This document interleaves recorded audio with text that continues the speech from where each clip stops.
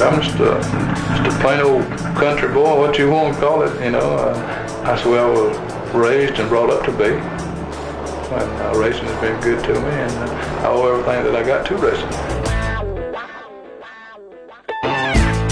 I started racing when I was about 17, and I bought my first car. I didn't know what to do to a car. The only thing I'd ever heard of was cut the flywheel and shave the heads. There wasn't anybody could uh, actually drive against him on dirt. That's how good he was. Yeah, I think he's just a kid who grew up a Mill Hill kid. Not a lot of promise, and he found something to, that he could do and just jumped in it with both feet immediately and never looked back. Ray Fox, his car, number three, driver Dave Pearson. They ended up uh, winning the race, World 600. They asked me, did I want to go to Daytona? And I ended up winning it. We went to Atlanta, and I won it. And at that time, nobody had ever won three big races in one year. So uh, when I done that, that really just picks me right up. Pearson's been playing it cool. He's kept the leaders in sight and kept out of trouble. That's the secret that's made him national champion. We won 15 races in 66 when we won the championship.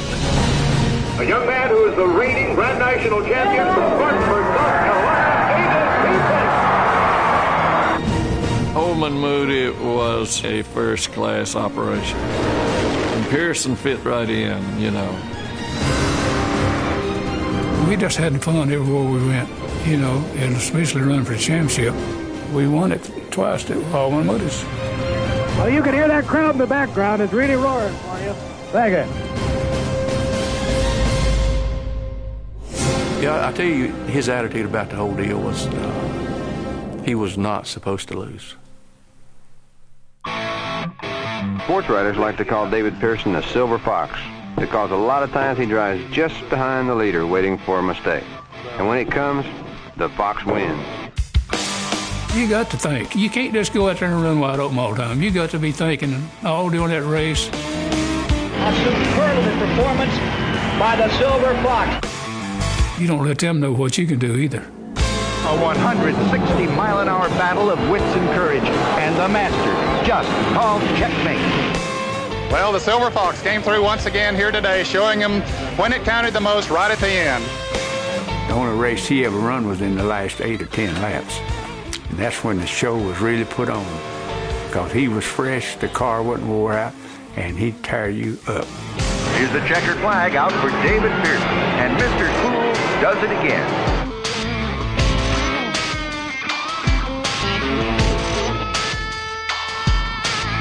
And he was Mr. Cool with those sunglasses and, you know, with a stick of gum in his mouth. Sort of the Steve McQueen figure in the NASCAR garages. That's him to a T. I think he loved it. well, I kissed him pretty good after the race, and my wife got all over me. I said, now look here, that's part of it. They want me to do that for the movie, for the picture, you know.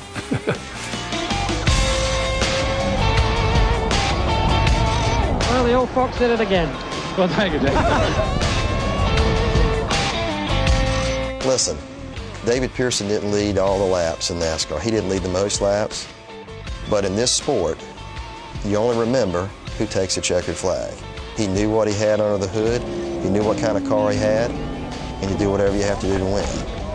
He did that 105 times. And now it is my great pleasure to introduce to you the greatest driver in the history of NASCAR, Mr. David Pearson.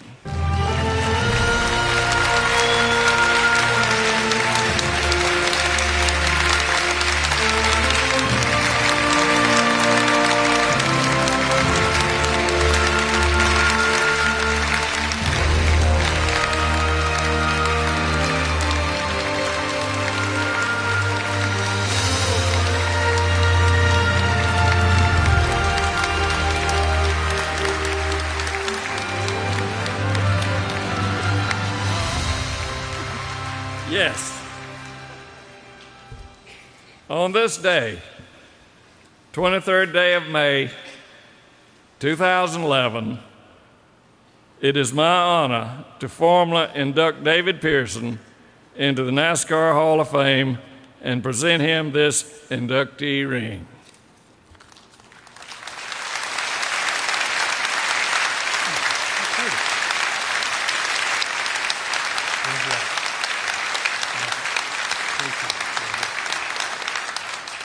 Look good. Thank you, Russell and Leonard. Appreciate that. What can I say after all they said? Yeah. but anyway, I want to thank the good Lord and my family. Don't be laughing. for putting up with me while I was racing and everything. So uh, it was good, and especially the fans. I got quite a few from the Y. Got a bus and come up here today, so I appreciate them coming up. And of course, I appreciate all of it. Every once in a while, I'd drive for Bud Moore when uh, Parnelli couldn't run the Trans Am Series, and I'd do that. And Bud said I run five times for him and won four of them and run second in the other one. So I had good success with Bud too. And after that, I went on to Holman Moody, and uh, I run. We ran good. Uh, I won a couple of championships with them, 68 and 69. But uh, that lasted a couple of years. After that, I went to, with the Woods. Somehow or another, the, well, the A.J. Foyt Road what drove for them, and they called me about running Daytona, and he's going to run two cars. So uh, that was good because uh, I run with him and run with AJ, so it uh, it worked out good there. Of course, I think I outrun AJ, and so that made them happy. So anyway, uh, they asked me the next year. They want to know if I wanted to run for them the next year. I said, well, sure. You know, they said, you want AJ to run? I said, well, no, I want to run by myself. You know, but anyway, that's the way it happened, and uh, ended up running for them. And uh, I, I tell you, what I I can't say enough good about them boys. And Leonard Wood, I'd have to say that that is the smartest man in the world right there. If there's anything that needed that car needed,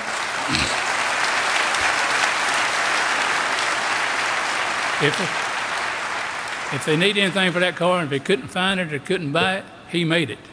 And that's the way. That's just how he was. I appreciate them. They're the hardest working and the best people like that that I could think of to drive. And if I was going to run a race tomorrow, I'd want Leonard Wood on it. He'd be the one to run it. And I appreciate it. And I appreciate Leonard because I'm going Eddie and Lynn, the whole family. They're the nicest family as you could ever drive for. And I really mean that, and I appreciate it. You sure do. And and I want to thank Richard Petty too. He he's probably the one that made me win as many as I did. You know, I I would run hard because he'd make me run hard. You know, and uh, sometimes he would make a mistake and I'd pass him. You know, and uh, course I didn't ever make no mistakes. He always passed. I always accused him of having big engines when he passed me. but he's a good sport, and I'm telling you, if it, like I say, I'd rather, I've had more fun running with him than anybody I've ever run with. And because uh, I know if I ever went to a racetrack and he was there, if I could beat him, I'd win the race. So I appreciate it. Sure do. Everything you've done, Richard. And I thank all the fans. I appreciate it, and I thank all the fans that's here tonight. You just don't know how much I enjoyed it. I want to thank NASCAR. I had some good friends in NASCAR, and I had a close relationship with them, especially Jim Hunter and Jimmy France and uh, Brian. Uh, you know, I enjoyed them, and so uh, thank you very much. And I'll see you later.